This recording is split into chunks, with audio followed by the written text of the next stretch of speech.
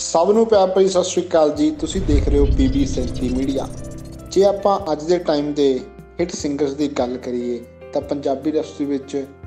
ਮੋਹਤਵਾਰ ਸਿੰਗਰਾਂ ਦੇ ਵਿੱਚ ਕਰਨ ਔਜਲਾ ਦਾ ਨਾਮ ਬਹੁਤ ਉੱਪਰਲੀ ਸੂਚੀ ਦੇ ਵਿੱਚ ਆਉਂਦਾ ਹੈ। Back to back super hit songs ਦੇ ਨਾਲ ਕਰਨ ਔਜਲਾ ਨੇ ਆਪਣਾ ਇੱਕ ਅਲੱਗ ਹੀ ਮੁਕਾਮ, ਇੱਕ ਅਲੱਗ ਹੀ ਨਾਮ ਬਣਾ ਲਿਆ ਹੈ ਪੰਜਾਬੀ ਇੰਡਸਟਰੀ ਦੇ ਵਿੱਚ। ਕਿਉਂਕਿ ਉਹਨਾਂ ਦਾ ਆਇਆ ਗਿਆ ਹਰ ਇੱਕ ਸੌਂਗ ਸੁਪਰ ਡੁਪਰ ਹਿੱਟ ਹੀ ਸੀ ਤੇ ਆਉਣ ਵਾਲੇ ਟਾਈਮ 'ਚ ਵੀ ਸਾਨੂੰ ਲੱਗਦਾ ਕਿ ਉਹਨਾਂ ਦੇ ਗਾਣੇ ਹਿੱਟ ਹੀ ਹੋਣਗੇ। ਹੁਣੇ ਹੁਣੇ ਉਹਨਾਂ ਦਾ ਗਾਣਾ ਜੋ ਕਿ ਦਿਲਪ੍ਰੀਤ ਢਿੱਲੋਂ ਜੀ ਨਾਲ ਆਇਆ, ਬੇਸ਼ੱਕ ਉਹਦੇ ਵਿੱਚ ਉਹਨਾਂ ਦਾ ਇੱਕ ਹੀ ਅੰਤਰਾ ਸੀ ਬਟ ਫਿਰ ਵੀ ਉਹ ਗਾਣਾ ਪੂਰੀ ਟ੍ਰੈਂਡਿੰਗ ਵਿੱਚ ਰਿਹਾ ਤੇ ਹਜੇ ਵੀ ਉਹ ਗਾਣਾ ਟ੍ਰੈਂਡਿੰਗ ਵਿੱਚ ਚੱਲ ਰਿਹਾ। ਤੇ ਹੁਣ ਉਹਨਾਂ ਨੇ ਅਨਾਉਂਸਮੈਂਟ ਕਰ ਦਿੱਤੀ ਹੈ ਜੀ ਆਪਣੇ ਨੈਕਸਟ Song ਦੀ, ਜਿਹਦਾ ਨਾਮ ਹੈ ਜੀ ਮੈਕਸੀਕੋ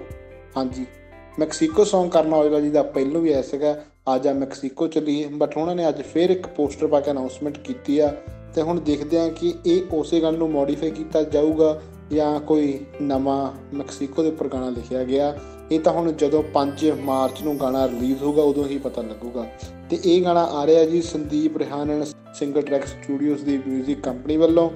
ਤੇ ਇਸ ਗਾਣੇ ਨੂੰ ਲਿਖਿਆ ਜਿਵੇਂ ਕਰਨ ਔਜਲਾ ਜੀ ਆਪਣੇ ਗਾਣੇ ਆਪ ਹੀ ਲਿਖਦੇ ਆ ਕਰਨ ਔਜਲਾ ਜੀ ਨੇ ਹੀ ਆ ਤੇ 뮤직 ਇਹਦਾ ਜਾਂ ਪ੍ਰੂਫ ਹੋਣਾ ਵੱਲੋਂ ਤੇ ਇਹਦੀ ਵੀਡੀਓ ਅਗਮ ਮਾਨ ਤੇ ਅਜ਼ੀਮ ਮਾਨ ਹੋਣਾ ਵੱਲੋਂ ਕੀਤੀ ਗਈ ਆ ਤੇ ਇਹਨੂੰ ਪ੍ਰੋਡਿਊਸ ਕਰਨ ਜਾ ਰਿਹਾ ਜੀ ਸਿੰਗਲ ਟਰੈਕ ਸਟੂਡੀਓਜ਼ ਦੇ ਮਾਲਕ ਸੱਜਣ ਦੁਹਾਨ ਜੀ ਤੇ ਪ੍ਰੈਜੈਂਟੇਸ਼ਨ ਸੰਦੀਪ ਰਿਹਾਨ ਜੀ ਦੀ ਆ ਤੇ ਸਾਰਾ ਜਿਹੜਾ ਪ੍ਰੋਜੈਕਟ ਆ ਉਹ ਜਤਿੰਦਰ ਸਿੰਘ ਜੀ ਨੇ ਕੀਤਾ ਹੈ ਤੇ ਪ੍ਰੋਜੈਕਟ ਨੂੰ ਮੈਨੇਜ ਕੀਤਾ ਜੀ ਸਕੋਪ ਐਂਟਰਟੇਨਮੈਂਟ ਨੇ